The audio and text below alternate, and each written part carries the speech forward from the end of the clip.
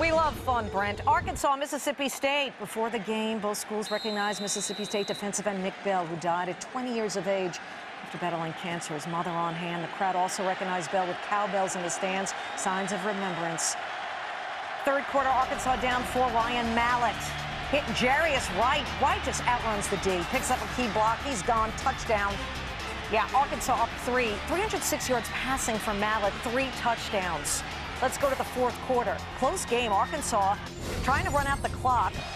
Up 31-28, third and eight. Knile Davis, he had a great game, 191 yards rushing, two TDs, but here he is stripped by Charles Mitchell, and the Bulldogs recover. Mississippi State takes over with 156 left in the fourth. 37 seconds left. Chris Relf looking, looking, looking, looking. Can't find anyone. He takes off, picks up eight yards, but the clock keeps ticking, and Mississippi State has no timeouts left.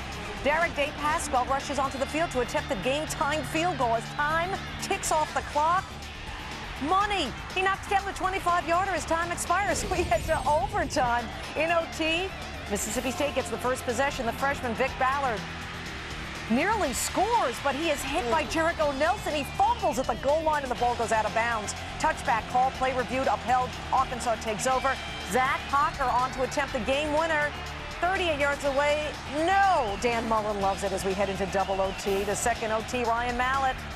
First crack.